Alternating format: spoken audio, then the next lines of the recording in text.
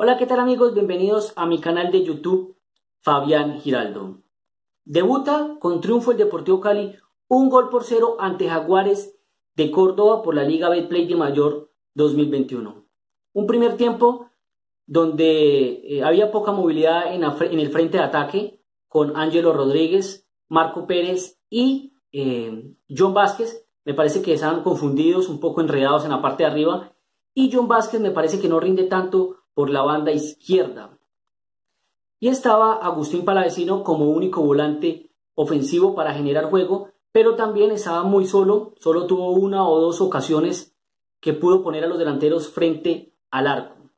Para el segundo tiempo, ya el profesor Alfredo Arias hace dos cambios e ingresa a Arroyo y a Jean-Paul Arce para acompañar un poco más a Agustín Palavecino y dejar como, eh, como los dos delanteros a Marco Pérez y a John Vázquez, obviamente John Vázquez por el lado derecho, donde más rinde y un poco más atrasado para ayudar en la gestación de juego.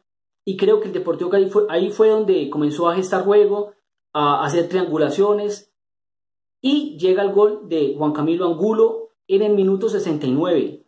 Soberbio golazo de Juan Camilo Angulo que ojalá ese semestre vuelva a marcar goles de tiro libre y de larga distancia como lo hacía en el América de Cali. Eh, en los refuerzos me parece buen debut de Guillermo de Amores, un jugador o un arquero muy ágil, de buenos reflejos y muy seguro en la parte de atrás. Y también le gusta hablarle a los defensas, que es interesante. Y en el tema de Jorge Arias, pues jugador muy seguro en la parte de atrás, mostró buenas cosas, creo que con, eh, con más partidos será fundamental para este Deportivo Cali. Y con Marco Pérez, me parece que será fundamental la velocidad del jugador y que le gusta también asociarse eh, con Agustín Palavecino, con John Vázquez, y será fundamental eh, este, este tridente, si se puede, pues, se puede decir así, o, o, bueno, con John Vázquez, que sería como en el frente de ataque, para que puedan aportar a este Deportivo Cali en la delantera.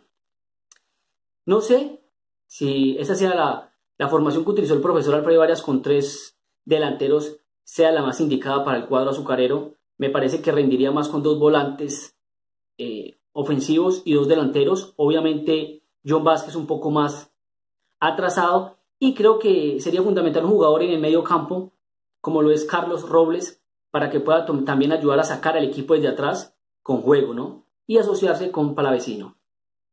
Me gustaría que dejaran aquí sus opiniones en la caja de comentarios, cómo les pareció el partido.